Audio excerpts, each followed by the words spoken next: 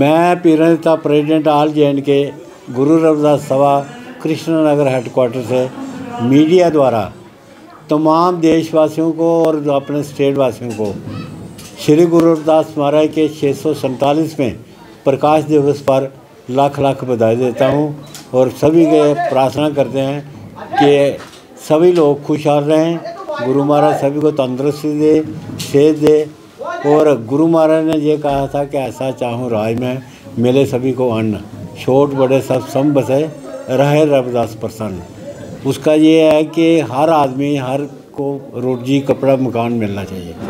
बच्चे जो आजकल बेचारे दरबदार हो रहे हैं और गलत रास्ते पर चल रहे हैं, मेरी उनसे भी अपील है कि वो कौमी दायरा में शामिल हो और ये नशे वगैरह छोड़कर अपने माँ बाप की और देश की अपने स्टेट की सेवा करें और पढ़े लिखें और देश की सेवा करें, स्टेट की सेवा करें। महल्ले वाले ही खुश होंगे।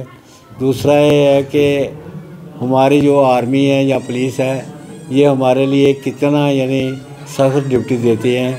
आर्मी वाले बॉर्डर पर होते हैं, पुलिस वाले मतलब अंदर इंटरनल सिक्योरिटी देते हैं हमें।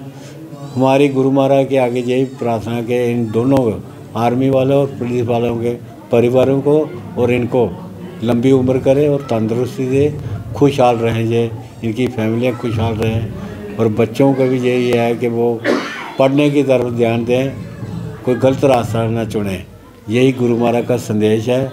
और गुरु महाराज के आज के दिन पूरी हिंदुस्तान में, पूरी दुनिया में गुरु महाराज का प्रकाश दिवस मनाया जा रहा है और सारी दुनिया में अमेरिका, इंग्लैंड, कनेडा वगैरह, जितने भी जर्मनी वगैरह कंट्री हैं, सभी जगह आज बड़ा मतलब सुख शांति के साथ ये जन्मदिन मनाया जा रहा है।